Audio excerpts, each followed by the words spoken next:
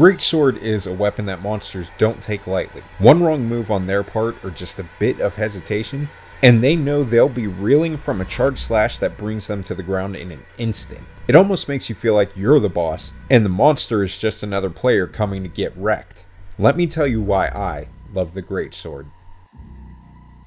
So, as far as the build goes, as is with every video, this is just more for transparency's sake and not meta building, so if you're looking specifically for that, you might want to find a meta build video. Between PC and console, I bounced around between a few builds. The one that I liked the most was this one I used on console using the Brachy and Furious pieces, which those of you on PC will be able to use very soon. I'm always a fan of having recovery up in my build if I can swing it, especially if I'm using a weapon that I feel like I haven't mastered just yet. We of course have focus maxed out, and I know I might get some flack for not using the Damascus chest, but I wanted to get that maximum might secret for that instant activation and 40% affinity. I figured with Greatsword, by the time you get through your stages of the TCS combo, your stamina is going to be well beyond capped off, and you'll be supercharged with affinity. We of course have the staples weakness exploit, crit boost, and health boost. Attack boost level 4 for that 5% affinity. Agitator would be maxed out,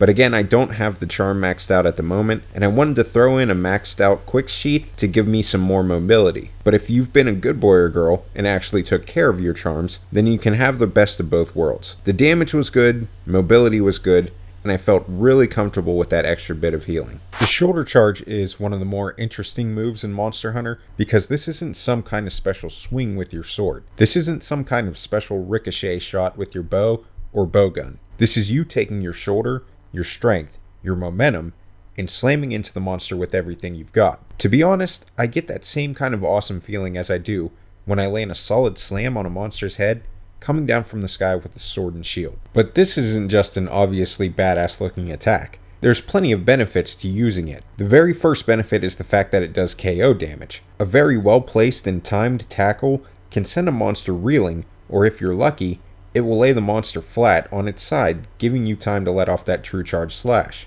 A little thing that some people might not know is that your tackle actually scales with the amount of charge that you're currently at in your slash. Another great benefit to using this is that you can skip a step in your TCS combo when you use your tackle. We all know that the Great Sword is a Hulk in the damage category, but we also know that getting through the entire TCS combo can be a bit of a time consuming act. Having an opportunity to skip a step in this entirely is a game changer, especially since we can do this tackle off of a roll. A wise hunter can greatly use this to their advantage with the proper positioning of that roll. The last benefit I'll be talking about is the way it extends the combo, even in the most perilous of situations. Think of that barbarian in your party and just how secretly jealous you are inside when they simply rage and then take reduced damage from the blunt of the attacks that they take. When you tackle through a monster's attack, you can extend your combo without having to worry about knockback. If you want to see some impressive play, someone who knows exactly how to utilize the tackle move is definitely fun to watch. I still remember watching people tackle through Teostra Novas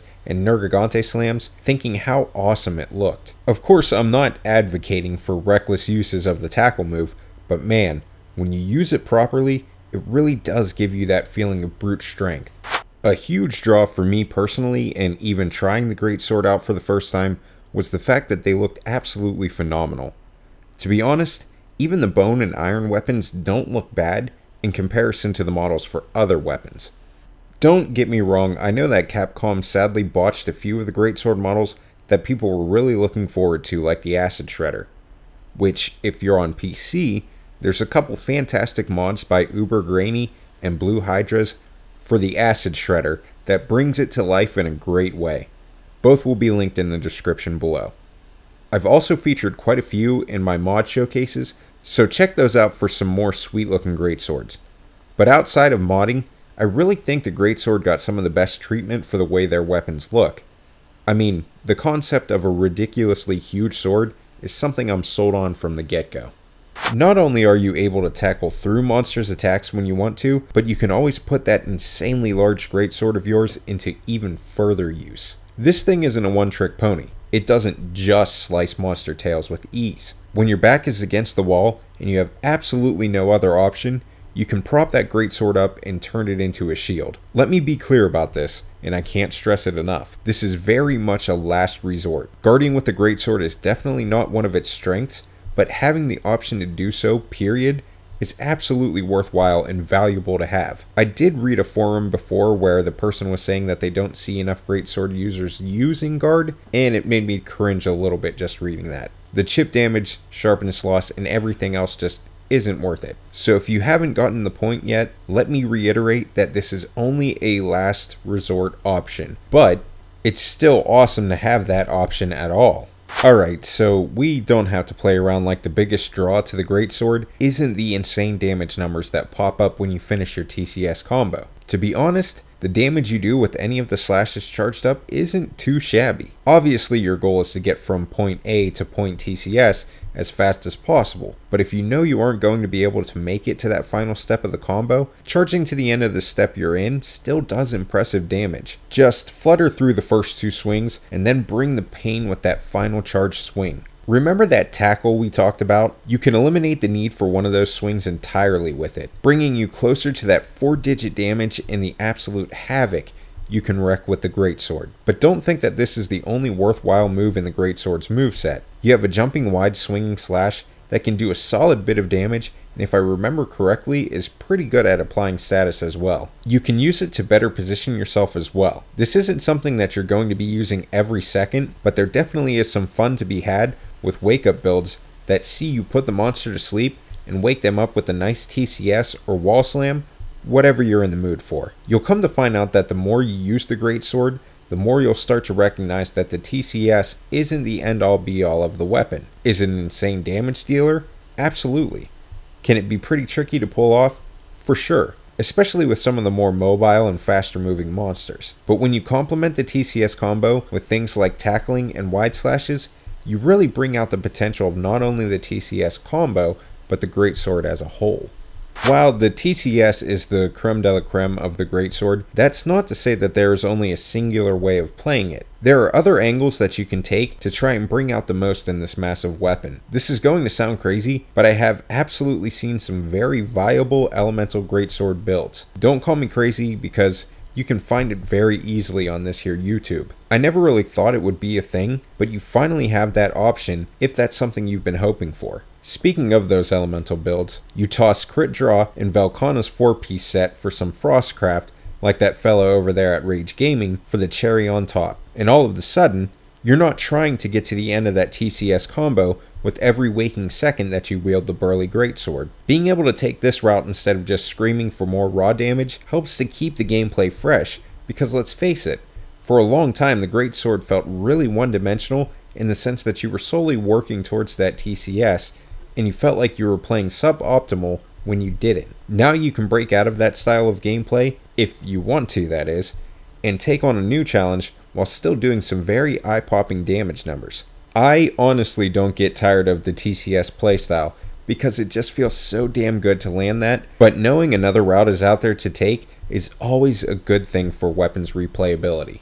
Believe me, I'm not going to argue with you at all if you tell me that the main draw for a greatsword is that sweet juicy damage that you get from that TCS. And honestly, I'm absolutely not going to judge you if that's the reason you main it or decide to give it a try. The amount of awesome that you feel after landing a TCS is really almost unmatched by anything in Iceborne. You get to see that thousand some damage pop up, and you get a chance to really tear into a monster with ease. Learning the times when you can really let loose and go for the home run is something that comes with time, but it's definitely a fun process. You also have some tricks up your sleeve to help you adequately get to that final charge and have yourself in the proper position to do so. The Great Sword's tackle gives you a lot of benefits such as positioning, damage mitigation, frames, but it also helps to keep your combo going smooth and uninterrupted. It even speeds things up by letting you skip a level of your TCS combo. Toss in other things like your jumping wide slash to also help you with positioning while doing decent damage and the variability of actually being able to make elemental builds, and you have a recipe for a weapon that's made nice progress with the Iceborne update while staying true to what made it awesome those sweet, sweet damage numbers.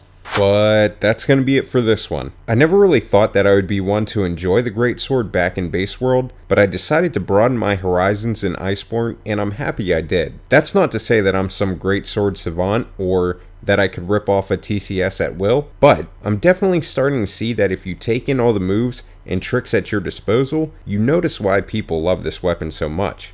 If you like the video, please do let me know with a thumbs up. If you're a Greatsword main, let's do as we have in the previous videos in this series and load up the comments with tips and things I may have forgotten to mention. Subscribe if you haven't already for more Iceborne and other gaming content. Dudes forever, have a good night, and happy hunting.